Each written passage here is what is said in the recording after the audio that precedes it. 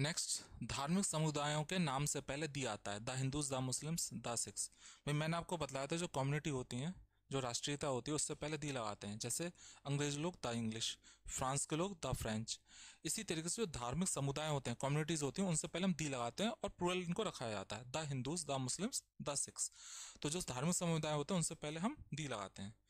Next rule है समिति, club और ट्रस्ट के नाम से पहले दी लगाते हैं, जो खास चीज़ें होती हैं, जैसे खास ट्रेन है जो एयरलाइंस हैं, खास, जो भी चीज़ है, खास होटल है, कोई भी चीज़ है बिल्डिंग है तो उससे पहले हम दी लगाते हैं। उसी तरीके से जो क्लब्स होते हैं, खास चीज़ें होती हैं, उनसे पहले भी हम दी लगा देते हैं। ये एक नाम भी होता है, जो क्लब या कोई चीज़ हो, उसके पहले दा भी एक नाम, उनके नाम के आगे जुड़ा होगा। और अगर नहीं भी जुड़ा है तो जब हम लिखते हैं तो जनरली हम दी लगा देते हैं। नेक्स्ट है, वंशजों के नाम से पहले दी आता है। भाई, द मराठास, द पेशवास। जब द मराठास की बात हो तो इसका मतलब जो मराठास थे, जो उनके वंशज थे, उनकी बात हो रही, द पेशवास, उनके वंशज थे, द मुगल्स तो उनके वंशजों की बात हो रही है। पूरा जो उनका कुनवा था, उनकी बात हो रही है। तो उनसे पहले हम दी लगाते हैं। तो यहाँ पे आपको ध्यान रखना है। जो वस्तु यूनिक है, उससे पहले दी का प्रयोग होता है। भाई, मैं बता चुका हूँ, जो वस्तु वो अपने आप में यूनिक होती है डेफिनेट होती है, उससे पहले दिया आता है। लेकिन जो बड़ी चीज़ें हैं द वर्ड। भाई, आपने पढ़ा भी इन द वर्ड। जो फ्रेज में कई बार हम यूज़ करते हैं, इन द वर्ल्ड लिखते हैं, ठीक है? The universe, the sky, the country, the environment the atmosphere. ये आपको ध्यान रखना है। जो यूनिक चीज़ें हैं, बड़ी चीज़ें, खास हैं, उनसे पहले हम दा लगाते हैं। तो ये भौगोलिक चीज़, भौगोलिक चीज़ों से पहले हम दा लगाते हैं। इसको आप ध्यान रखिएगा। कई बार हम कंफ्यूज हो जाते हैं। यहाँ पे सेंटेंस है the sky is dark and the moon is shining भाई मून है, भौगोलिक पिंड है द आता है द सन द मून उसी तरीके से स्काई यूनिक चीज़ है। उससे पहले द लगाते हैं। आपने सुना भी होगा in the sky birds are flying in the sky हम यूज़ करते हैं इन द स्काई लेकिन हमें पता नहीं होता भाई दा क्यों लगाया। तो जो यूनिक चीज़ें हैं, खास चीज़ें हैं, उनसे पहले हम द लगाते हैं। Birds are flying in the sky कैसे भी। द सी, हमने पढ़ा था Pacific Ocean Atlantic Ocean, Arabian Sea, जो बड़ी चीज़ें खास हैं, गॉड मेड उनसे पहले हम दा लगाते हैं। इसी तरह केवल सी हो, नाम भी ना हो तो भी हम दा ही लगाएँगे। The sea seems calm today समुद्र आज शांत प्रतीत होता है। Third do you live in a town और इन द कंट्री क्या तुम टाउन में रहते हो, आया है, किसी टाउन में रहते हो, या कंट्री में? इन द कंट्री तो कंट्री से पहले हमने दा लगाया इन द कंट्री तो जो चीज़ें होती हैं यूनिक हैं, उनसे पहले हम दा लगाते हैं। Environment we must protect the environment हमें अवश्य इन्वायरमेंट को प्रोटेक्ट करना चाहिए। तो यहाँ पे द इन्वायरमेंट लगाया है। तो जो वस्तु यूनिक है, उससे पहले हम दी का प्रयोग करते हैं। The world the universe the sky the country the environment the atmosphere इसको ध्यान रखिएगा। अगर कोई रूल ध्यान नहीं रहता है तो बेहतर है कि आप उसे लिख लो एक जगह, थोड़ा सा छोटा करके और जो थर्माकोल का आपने डिस्प्ले बोर्ड अगर बनाया नहीं है तो बना लो और उस पर लगा लो पन्ने को और वो ध्यान रहेगा। बाद में उसे हटा दो, फिर कोई और लगा लो। इस तरीके नोट्स बहुत काम के होते हैं। नेक्स्ट जो यूनिक चीज़ें हैं, उनसे पहले हम दा लगाते हैं, लेकिन इंग्लिश में दिक्कत ही होती है, जो रूल होता है, वो आगे जाकर उसी की जो तक एक्सेप्शन आ जाता है कि भाई यहाँ पे ये नहीं लगाना, यहीं पे दिक्कत होनी शुरू होती है।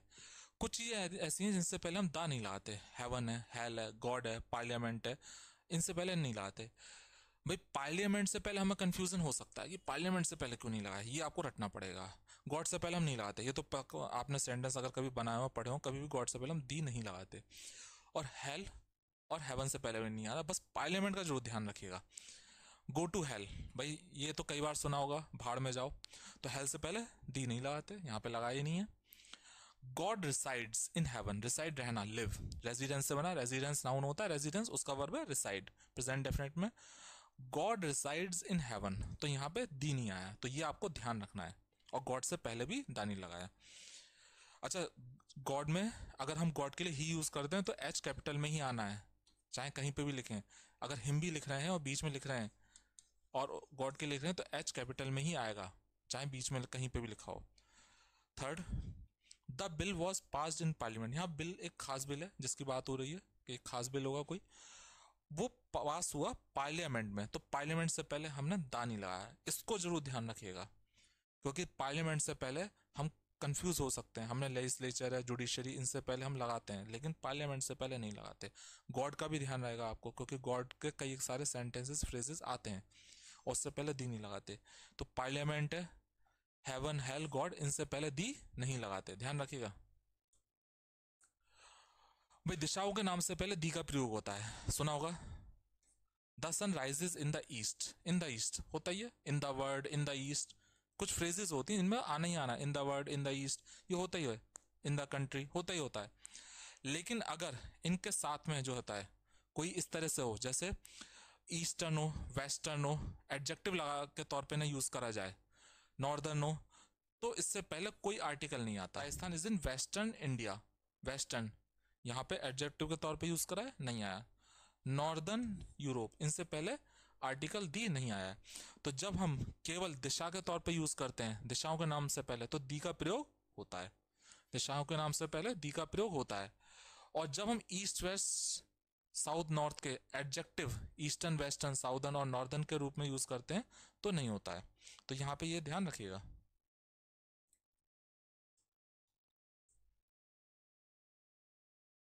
नेक्स्ट है, जब स्पेस का अर्थ अंतरिक्ष होता है तो स्पेस से पूर्व आर्टिकल का प्रयोग नहीं होता, लेकिन यदि स्पेस जगह के अर्थ में होता है तो दी का प्रयोग होगा।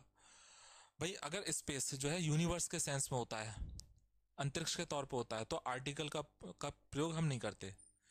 जैसे first example astronauts dream of going to space जो एस्ट्रोनॉट्स हैं, वो सपना देखते हैं स्पेस में जाने का। तो यहाँ पे जो स्पेस है, वो अंतरिक्ष की बात हो रही है तो दी नहीं आया। लेकिन अगर स्पेस का जो यूज़ कराया गया है वो जगह के लिए करा गया है। जैसे थोड़े स्पेस जो भी स्पेस है, उसमें गाड़ी खड़ी कर दो पार्क कर दो तो उसमें फिर दा लगाएँगे। यहाँ पे जो स्पेस है, वो अलग सेंस में यूज़ करा। He tried to park his car उसने कार को पार्क करने की कोशिश करी but the space was not sufficient लेकिन जो स्पेस था वो काफ़ी नहीं था। तो यहाँ पे स्पेस क्या है? जगह जगह काफ़ी नहीं थी। तो यहाँ पे हमने दा लगाया। अच्छा अब इस सेंस में भी हम कहेंगे कि दा क्यों आया यहाँ पे? यहाँ पे स्पेस एक खास जगह की बात हो रही है। भाई पार्किंग करनी थी। अब वहाँ पे जो कार पार्क जो करनी वो खास जगह की बात हो रही है, जिस जगह पे कार पार्क करनी थी।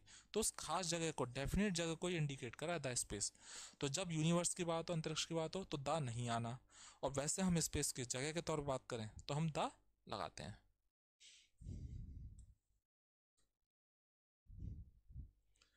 नेक्स्ट है, ऐतिहासिक इमारतों के नाम। The Taj Mahal, the Red Fort. भाई, जो भी मेजर चीज़ें होती हैं, जैसे मतलब होटल है, क्लब है न्यूज़पेपर कोई ख़ास चीज़ें होती हैं, उनसे पहले हम दा लगाते हैं। तो यहाँ पे भी एक ख़ास चीज़ है भाई, गाड़ियों के नाम जो होते हैं, खास दा राजधानी है, कोई एयरलाइन है, जो भी खास यूनिक चीज़ें, उनसे पहले दा लगाते हैं। तो ये भी अपने आप में एक खास चीज़ें हैं, the Taj Mahal, the Red Fort, एक मेजर चीज़ है। कोई पुरानी घटना हो बहुत बड़ी, जो नई जो घटना है, वो उससे पहले दा लगा सकते हैं, दा वर्ल्ड कप तो जो मेजर इंसिडेंट्स होते हैं, चीज़ें होती हैं, उनसे पहले दा लगाते हैं। बिल्डिंग्स या मोनूमेंट्स के नाम से पहले प्रॉपर नाउन लगा हो तो ऐसे में नहीं लगाते। भाई ये वहाँ पे भी आया था, जो धर्मग्रंथ होते हैं रामायण, महाभारत, इनसे पहले हम दी लगाते हैं। लेकिन जब प्रॉपर नाउन आ गया था, जैसे वाल्मीकि रामायण तो प्रॉपर नाउन आ गया था तो हमने दा नहीं लगाया। उसी तरीके से यहाँ पे जो एयरपोर्ट है, उससे पहले प्रॉपर नाउन आ गया है। तो यहाँ पे कोई दा नहीं आएगा। दाया, दयाली, कुछ नहीं आना। विक्टोरिया पैलेस पैलेस है, लेकिन इससे पहले विक्टोरिया आ गया। ये प्रॉपर नाउन है, विक्टोरिया के नाम पे बना है, किंग, क्वीन विक्टोरिया। जू, उससे पहले प्रॉपर नाउन आ गया। तो नहीं आएगा। पैलेस, उससे पहले प्रॉपर नाउन आ गया, नहीं आया। इसी तरीके से एयरपोर्ट इससे पहले प्रॉपर नाउन आया तो हमने नहीं लगाया। भाई, द इंदिरा गांधी एयरपोर्ट नहीं होगा। तो जब कोई प्रॉपर नाउन किसी बिल्डिंग से पहले आया था तो दा नहीं लगाते। लेकिन कोई बिल्डिंग है, खास बिल्डिंग है तो दा लगाए द ताजमहल आप इस द ताजमहल के, उससे ध्यान रखिएगा। आपको जितनी भी मेजर चीज़ें हैं, उनसे पहले आप दा लगा सकते हो। एक एग्ज़ाम्पल ध्यान रखो। उससे आप बाकी के एग्ज़ाम्पल अपने दिमाग में ध्यान रख सकते हो। नेक्स्ट है, व्यक्तियों के पद से पहले दी आता है। द चेयरमैन द डायरेक्टर भाई, जो मेन पद होते हैं, खास पोस्ट होती हैं, उनसे पहले दी आता है, वो यूनिक होती हैं डेफिनेट होती हैं। चेयरमैन है डायरेक्टर है, अपने आप में यूनिक पोस्ट है। तो उनसे पहले दी आना आना, ये तो ध्यान रहेगा आपको। जैसे the chairman will decide the matter chairman इस मैटर को डिसाइड करेंगे। सेकंड है the meeting was presided over by the executive director meeting है, खास मीटिंग की बात हो रही है। प्रिसाइडेड ओवर इसको जो करा गया था, वो एग्जीक्यूटिव डायरेक्टर द्वारा किया गया था। एक खास पोस्ट है। तो जो पोस्ट होती हैं, उनसे पहले हम दा लगाते हैं। एग्जीक्यूटिव डायरेक्टर उससे पहले हमने दा लगा दिया। तो पोस्ट से पहले लगाते हैं। ही इज़ द डायरेक्टर वो डायरेक्टर है। भाई डायरेक्टर पोस्ट है, उससे पहले हमने दा लगा दिया। यहाँ पे आया ही इज़ आ डायरेक्टर अब भाई, इन दोनों में अंतर है। यहीं पे कंफ्यूजन होता है, जो हम कहते हैं ना कि हमारा सेंटेंस कई बार गलत हो गया, हमें समझ में नहीं आया तो यहाँ पे होता है, कायदे में द डायरेक्टर आएगा, वैसे तो ही इज़ द डायरेक्टर लेकिन ये ही इज़ द डायरेक्टर क्यों आया? ये एक पूरा सेंटेंस होगा, किसी चीज़ में, पूरा एक लेंथी सेंटेंस होगा, उसका एक छोटा सा पार्ट है ये। मान लिया ये है कि कोई जगह है, वहाँ पर कई सारे डायरेक्टर्स हैं, कोई कंपनी या कोई भी चीज़ है, उसमें से एक डायरेक्टर की बात हो रही है, उस सेंस में हम आ लगाएँगे ही इज़ अ डायरेक्टर इसका मतलब बहुत सारे डायरेक्टर्स वहाँ पे कई लोग हैं उनमें ये एक डायरेक्टर है। तो यहाँ पे एक डायरेक्टर बात हुई। लेकिन यहाँ पे जो है sentence he is the director इसका मतलब एक ही है डायरेक्टर और खास डायरेक्टर है डेफिनेट डायरेक्टर है। और यहाँ पे क्या है? ही इज़ अ डायरेक्टर बहुत सारे डायरेक्टर हैं, उनमें से ये एक डायरेक्टर है। तो उसमें हमने आ लगाया है। Next put the before the names of musical instruments भाई म्यूजिकल जो इंस्ट्रूमेंट्स होते हैं, उनसे पहले हम द लगाते हैं। ध्यान रखिएगा। जैसे he plays the piano he can play any piano इसका मतलब यह है कि कोई भी पियानो वो उसे जो है प्ले कर सकता है। तो जो म्यूजिकल इंस्ट्रूमेंट्स होते हैं, उनसे पहले हम द लगाएँगे। ये आपको बिल्कुल ध्यान रखना है। नेक्स्ट है he is learning the guitar musical instrument है। गिटार इससे पहले हमने दी लगाया है। तो म्यूजिकल इंस्ट्रूमेंट से पहले आपको दी लगाना है। म्यूजिकल इंस्ट्रूमेंट से पहले आपको दी लगाना है। ध्यान रखिएगा म्यूजिकल इंस्ट्रूमेंट से पहले आपको दी लगाना है। When d is omitted, the reference is to the purpose for which the building exists भाई, ये ध्यान रखना है आपको। जैसे मान लीजिए, आप हॉस्पिटल गए, इलाज कराने तो आप जो है दी नहीं लगाओगे ठीक है? और अगर आप हॉस्पिटल किसी और पर्पज से गए तो इसका मतलब किसी से देखने गए तो इसका मतलब दी लगाओगे तो जो बिल्डिंग जो है कोई इमारत, वो जिस उद्देश्य से बनी है, आप उसी उद्देश्य के लिए वहाँ गए हो तो आप दी नहीं लगाओगे। तो आप दी नहीं लगाओ, अगर वही आपका उद्देश्य है, जैसे कॉलेज में गए हो पढ़ने तो दी नहीं आएगा, और किसी और मकसद से गए हो तो दी आएगा। यहाँ पे है first I had to go to hospital for treatment इसका मतलब वेंट फॉर ट्रीटमेंट ट्रीटमेंट के लिए गया तो यहाँ पे दी नहीं आया है। क्यों? क्योंकि ट्रीटमेंट के लिए गए हो। जो बिल्डिंग है, उसका जो उद्देश्य है ट्रीटमेंट का, आप उसी मकसद से गए हो। तो आप दी नहीं लगाओगे, क्योंकि आप उसी मकसद से ट्रीटमेंट के मकसद से गए हो। नेक्स्ट है I am going to court to get custody of the children मैं कोर्ट जा रहा हूँ चिल्ड्रन की कस्टडी लेने के लिए। तो जो कोर्ट जाने का पर्पज है, वो वही है। कि कोर्ट का जो कार्य है, कस्टडी, कोई झगड़ा है डिस्प्यूट, उसके ऊपर आप जा रहे हो। तो वही पर्पज है, जो बिल्डिंग है, उसी उद्देश्य से आप जा रहे हो।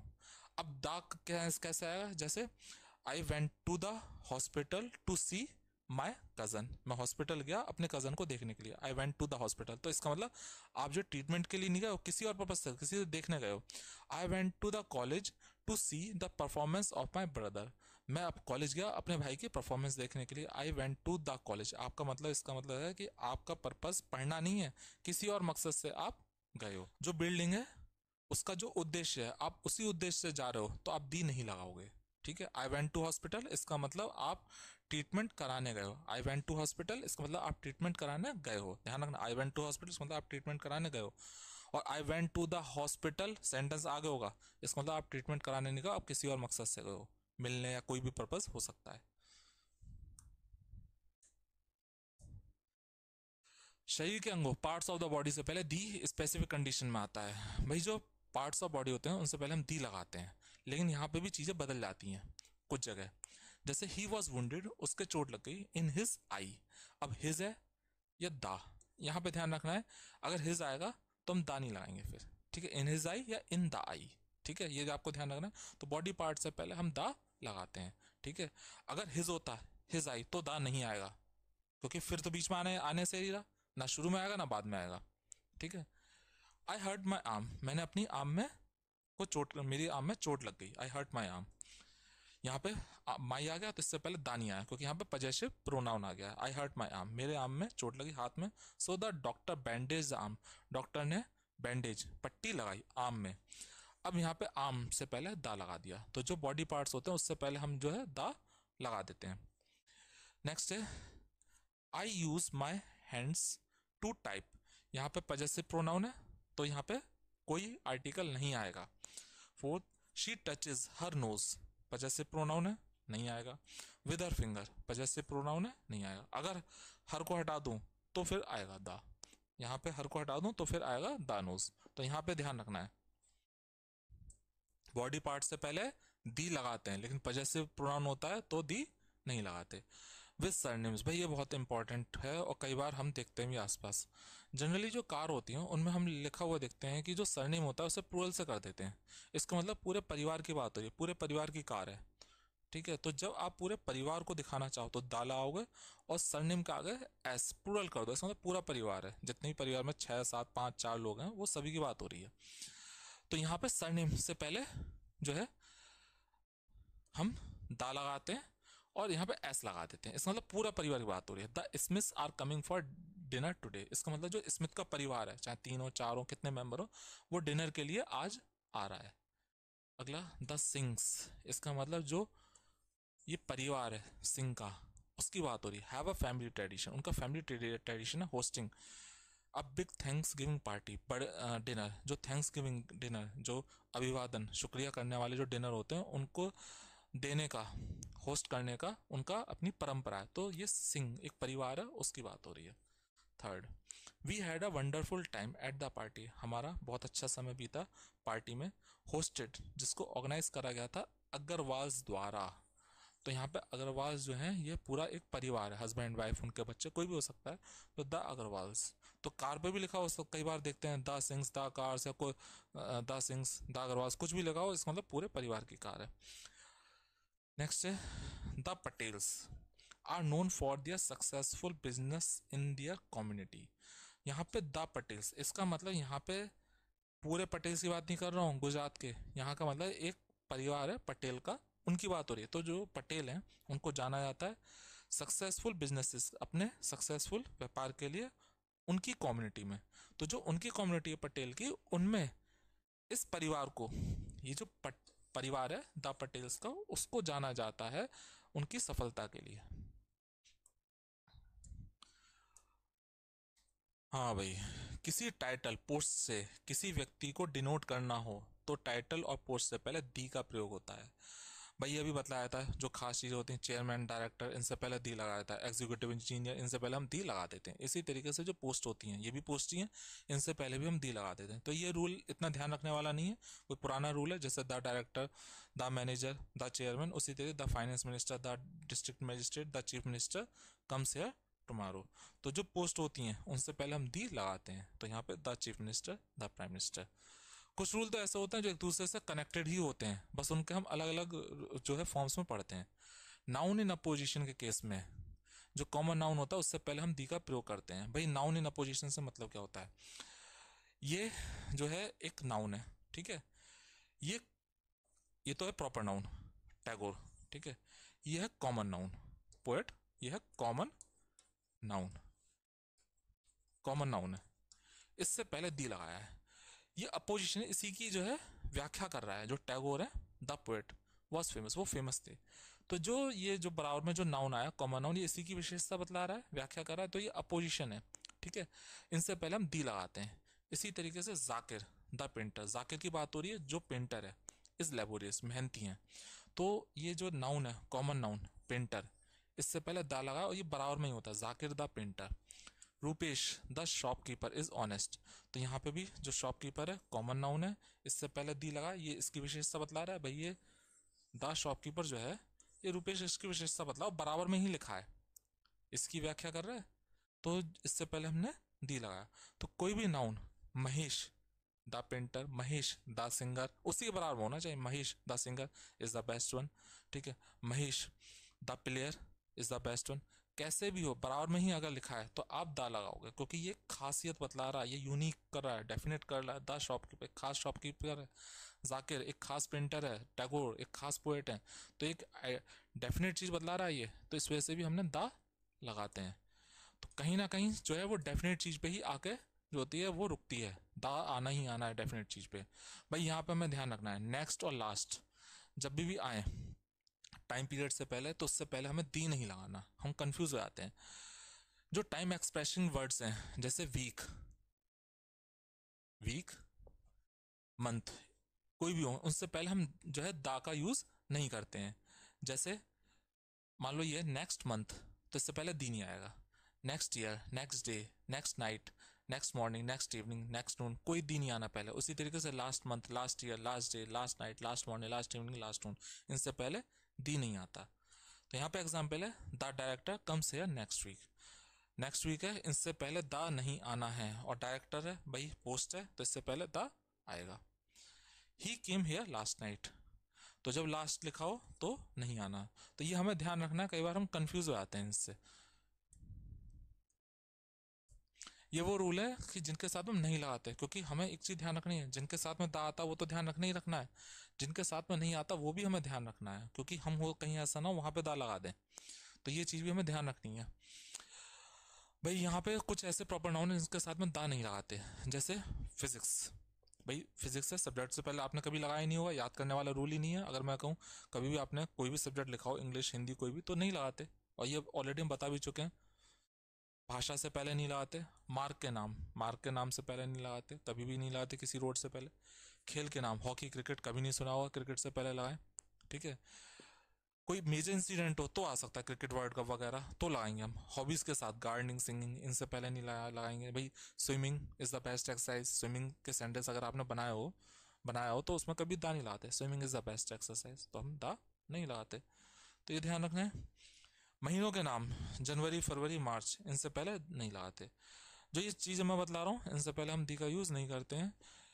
हो सकता है थोड़ा मैं जल्दी आपको बतला रहा हूँ, आपको ध्यान रखना है। तो ये आपको बहुत ही हेल्प करेंगे पेपर में। जो चीज़ें नहीं आती, उनका भी मैं ध्यान रखना है।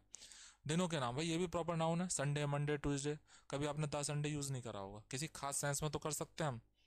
लेकिन जो डेफिनेट अगर कोई खास चीज़ में हो, वो मैं आपको आगे बताऊँगा। वरना हम कभी भी दिनों के नाम से पहले, महीनों के नाम से पहले यूज़ नहीं करते हैं। उसी तरीके से भाषा के नाम, ये ऑलरेडी मैं बता चुका हूँ। हिंदी इंग्लिश भाई, अंग्रेज़ लोग हैं, द इंग्लिश स्पीक इंग्लिश अंग्रेज़ लोग इंग्लिश बोलते हैं तो इंग्लिश से पहले आएगा ही नहीं। तो भाषा के नाम से पहले हम दी यूज़ नहीं करते।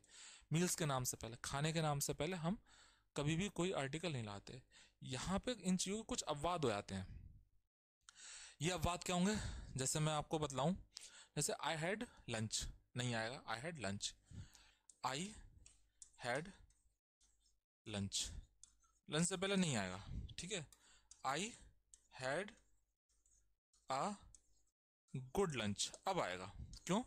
क्योंकि लंच से पहले क्या आ गया? एडजेक्टिव आ गया। अब यहाँ पे आ गया आ गुड लंच तो भाई खाने से पहले नहीं लगाया, लेकिन एडजेक्टिव आ गया तो लगा दे। तो इंग्लिश में अपवाद होते हैं। अब इसमें भी एक चीज़ हो सकती है। The lunch I had yesterday आगे कम सेंटेंस होगा। Yesterday was very delicious the lunch I had yesterday was very delicious तो ये खास लंच की बात हो रही है, जो कल जो लंच हमने खाया था, बहुत डिलीशियस था। तो द आ गया। तो एक ही चीज़ है, लेकिन हमने अलग अलग आर्टिकल यूज़ करें। तो उस कॉन्टेक्स्ट में, जिसमें यूज़ हुआ है, उसमें हम ध्यान रखते हैं। तो जो मैंने रूल जो बतलाए हैं, अभी और भी है, काफ़ी काफ़ी सारे रूल हैं, जो मैंने आपको बतलाए हैं, बहुत इंपॉर्टेंट है, ध्यान रखने हैं। जो ये रूल्स हैं, हो सकता है इनमें कन्फ्यूज़न हो। आप इस वीडियो को दोबारा देखना। अगर कोई डाउट्स होंगे तो वो क्लियर हो जाएँगे आपके।